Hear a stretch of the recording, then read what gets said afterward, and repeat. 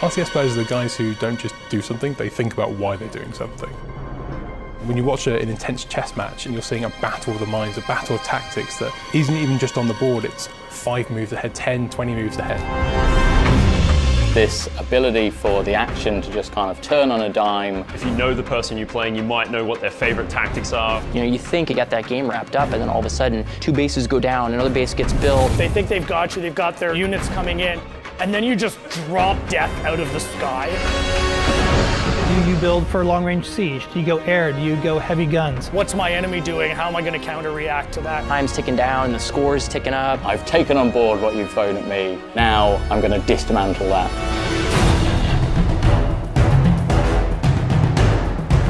First thing I had to figure out was who we were going to work with on this, and my mind immediately went to Creative Assembly. They are synonymous with RTS. These guys have been doing this for 20 years. And they're still at the top of their game.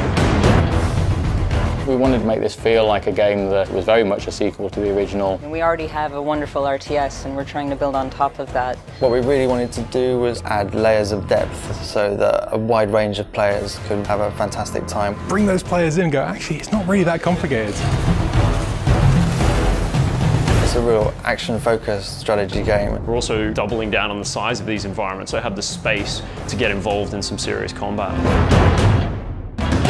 If you want to practice your base strategy, you can go into domination, you can go into deathmatch. If I'm in the mood for a fast game, I can jump into strongholds. So we've got different kind of ways to play the game for different kind of players. We absolutely want those hardcore players, and we've absolutely got games and game modes that are suited to that. But then we've got, on the other end of the spectrum, modes like Blitz. It's something nobody's ever done before.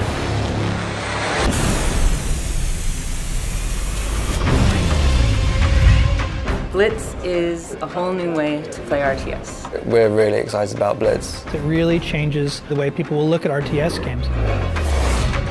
Blitz is a fast-paced arcade action version of Halo Wars 2 where instead of building your army at a base, you're building them before a match as a deck of cards. And you fight by deploying cards from your hand into the battlefield in real time. There's no base building, there's no economy management, it's all about the combat. I don't want to worry about tech trees. I don't want to worry about resource collection. The original design intention for Blitz was to make something really accessible that everybody could enjoy. Whether you're new to strategy games or an RTS veteran. Experience the really cool bits of RTS, so commanding a huge army, bringing down huge leader powers. It's all about playing the right card at the right time. At the end of the match, you're wielding these large forces with all sorts of different powers and abilities. And start bringing out bigger guns, marauders, blisterbacks. Even if you're a really seasoned vet, it's such a different way to play an RTS.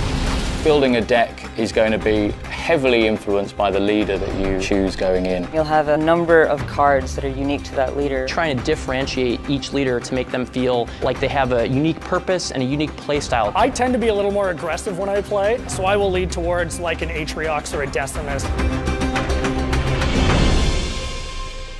I like that we're taking a risk. We're making something really exciting that I think people haven't seen before. You're playing with the units on the field, you're playing with the leaders and the abilities. I think you're also taking on the player and you're reacting to what their actions are. You really can turn the tide.